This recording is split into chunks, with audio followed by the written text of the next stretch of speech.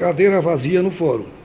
Transcorrido meia hora, a deputada André Murá ainda não compareceu para a audiência contra é, que ela move uma ação criminal contra o blogueiro César Belo. O advogado dela está ali, né? Ele diz que ela vai, que ela vai apresentar um atestado.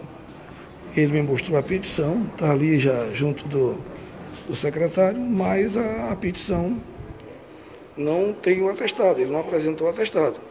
Né? Aí é, vamos argumentar aqui no sentido do arquivamento.